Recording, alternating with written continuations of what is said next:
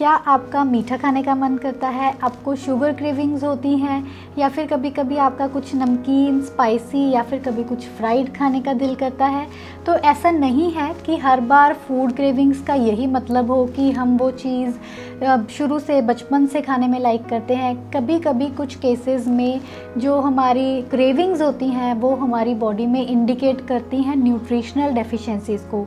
हमारी बॉडी में जब कुछ पोषक तत्वों की कमी हो जाती है, उस वजह से हमें उन चीज़ों की क्रेविंग होनी शुरू हो जाती है। हेलो मैं हूँ डॉक्टर अनुपम और आज मैं बात करने वाली हूँ relationship between food cravings and your nutritional deficiencies क्या कुछ पोषक तत्वों की कमी से हमें आ, कुछ खाने पीने की चीज़ों की क्रेविंग होनी शुरू हो सकती है? आज हम इसके बारे में बात करेंगे।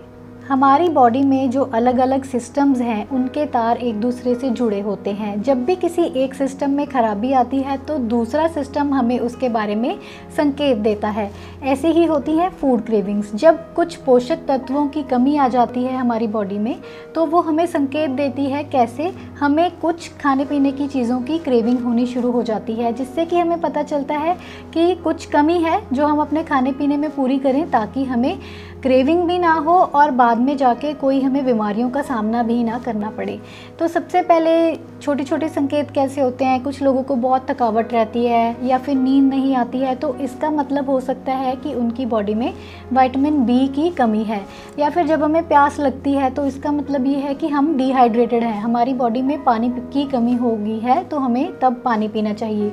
तो ऐसे ही कुछ तत्व हैं जिनकी कमी होने से हमें क्रेविंग्स होने लगती है, हमें कुछ खाने पीने का दिल करने लगता है। तो अगर हम अपनी बॉडी के इन साइंस को सुनेंगे, समझेंगे तो हम क्रेविंग्स को भी रोक सकते हैं और बहुत सारी न्यूट्रिशनल डेफिशिएंसीज को भी रोक सकते हैं और आने वाली बीमारियों से भी अच्छी तरीके से लड़ सकते हैं। तो अब हम बात करेंगे ऐसे क्रेविंग्स के बारे में जो हमें होती हैं, जब हमारी बॉडी में न्यूट्रिशनल डेफिशिएंसीज होती हैं, सबसे पहले कुछ लोग होते हैं, उनको चॉकलेट खाने की बड़ी क्रेविंग रहती है। ऐसा नहीं है कि उनको बहुत पसंद है, लेकिन उनका ऐसा हो जाता है कि अभी मुझे चॉकलेट नहीं मिला तो पता नहीं क्या हो जाएगा। तो चॉकलेट क्रेविंग किस चीज़ का सिंबल है? जब हमारी बॉडी में मैग्नीशियम की कमी होती है, तब हमें चॉकलेट खाने की क्रेविंग होती है। तो मैग्नीशियम की कमी को पूरा करने के लिए हमें अपनी डाइट में नट्स सीड्स ग्रीन वेजिटेबल्स और बहुत सारे फ्रूट्स का सेवन बढ़ा देना चाहिए, जिससे कि हमारी मैग्नीशियम की कमी पूरी हो जाए और हमें चॉकलेट क्रेविंग्स ना हो।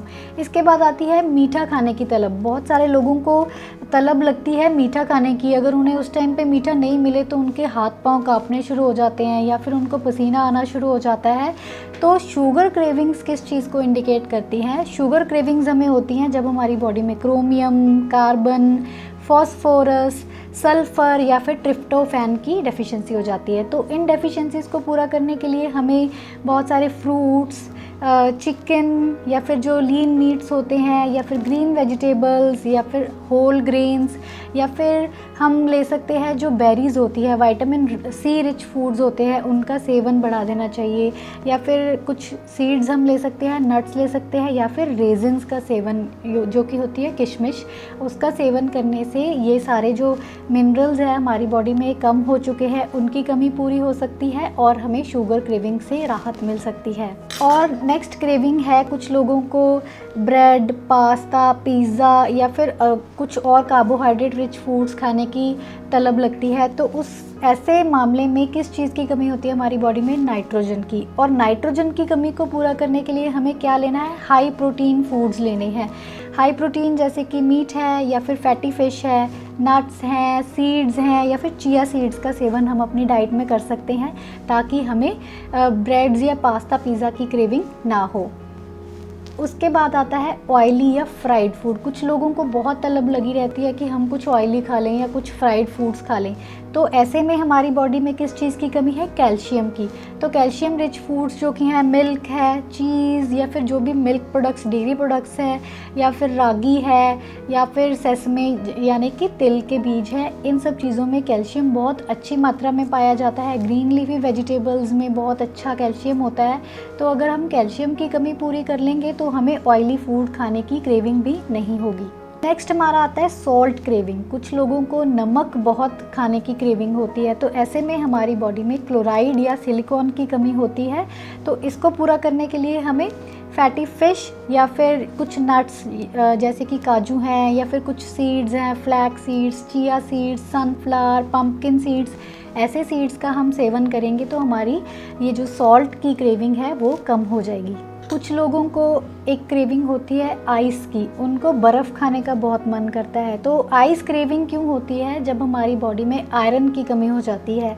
आयरन किस चीज़ों में होता है? ग्रीन लीफी वेजिटेबल्स में होता है या फिर फ़िश में चिकन में या फिर ब्लैक बेरीज़ में रेजन्स में बीट रूट अनार, ऐसे फ़ूड अगर हम खाएँगे तो हमें आयरन की कमी से निजात मिल सकेगी। तो हमारी बॉडी जो है, वो एक कंप्यूटर सिस्टम से कम नहीं है। तो हमें उनके संकेतों को सुनना है। जो भी हमारी बॉडी कह रही है, वो ऐसे ही नहीं कह रही है। तो उसका कुछ ना कुछ हिडन मीनिंग होता है। अगर हम ध्यान देंगे अपनी हेल्थ पे, हमारी बॉडी के जो हमें साइंस मिल रहे हैं सिग्नल्स मिल रहे हैं तो हमें डेफिशिएंसीज होंगी ही नहीं और बहुत सारी बीमारियों से हम अपने आप को बचा सकेंगे। तो अगर हम इन जनरल बात करें कि डेफिशिएंसी से बचने के लिए हमें कैसी डाइट होनी चाहिए? तो हमारी डाइट रिच होनी चाहिए होल ग्रेन से फ्रूट्स से वेजिटेबल्स से और कुछ healthy fats in the form of nuts और सीड्स हमें लेने चाहिए और हमें अच्छी नींद लेनी चाहिए और पानी। पानी पीना फ्लूड इनटेक करना बहुत ज़रूरी है और हमें दूर रहना चाहिए प्रोसेस्ड फ़ूड से, मैदे वाली आइटम से या फिर कोई भी रिफ़ाइंड फूड्स हैं बेकरी फूड्स हैं या जो भी बाहर का जंक फ़ूड है उन सब चीज़ों से हम दूर रहेंगे तो हमें न्यूट्रिशनल डेफिशिएंसीज नहीं होंगी। तो हमेशा अपनी बॉडी के साइंस को सुनिए जिससे कि आप हमेशा स्वस्थ रह सकें हेल्दी रह सकें और हँसते मुस्कुराते रह, रह सकें और देखते रहिए दी ब्लैक आर्ट स्टूडियोज़